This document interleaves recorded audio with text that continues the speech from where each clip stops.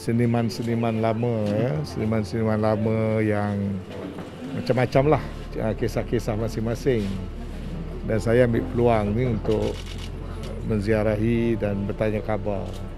Lebih-lebih lagi di bulan Ramadan lah sunat ziarah menziarahi kan.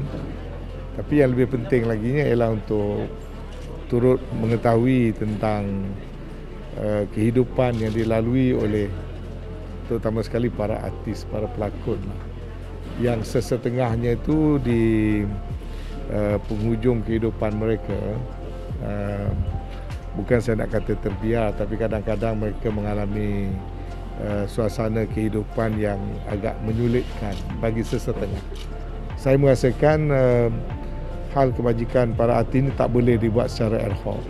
Sebab memang kita tahu artis ni waktu muda aktif, lepas tu dia tidak dia tidak jadi artis sampai sampai dia tua. Dia sekejap saja kan. Uh, macam pemain bola lah. Masa muda main bola dah tua. Jadi kalau tidak ada apa tu punca rezeki yang lain itu biasanya menimbulkan masalah lah. Jadi harus ada kaedah yang lebih baik. Kita sedang memikirkan supaya semua pegiat seni baru-baru ini saya dah berjumpa dengan bahagian pada mereka saya minta mereka menganjurkan apa ni mengadakan perbincangan untuk menampilkan show-show cadangan uh, bagaimana soal masalah kebajikan para para penggiat seni ini dapat kita uruskan dengan cara yang lebih teratur. Saya rasa amat bersyukur dan terharu atas kehadiran Tan Sri dari datang melawat uh, suami saya itu Sajen Jamil lah yang lebih dikenali dengan Sajen Jamil ataupun Sajen Senario orang panggil.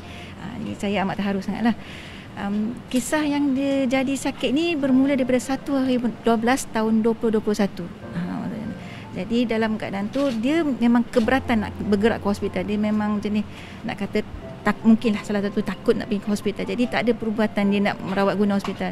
Jadi jalan-jalan-jalan masa kami guna solusi kami ialah herba-herba saja um, untuk menggerakkan apa dengan exercise dia lah dia buat dengan exercise. Ha, pada 1 hari bulan 4 adik dia datang ke rumah membawa ubat lah pula bawa secara, secara homopati lah. Itulah cerita dia. Ha, sekarang ni uh, sajen dalam pemulihan sekarang. Cuma uh, tangan kanan baru boleh bergerak angkat tinggi sebelah. Um, percakapan dia tak boleh buat panjang-panjang lagi lah. Dia masih cakap dia tu masih ada yang merapu sikit lagi lah. Uh, maksud macam tu. Saya mohon doa banyak-banyak lah kat dia supaya dia cepat sembuh semula. Uh, itu sajalah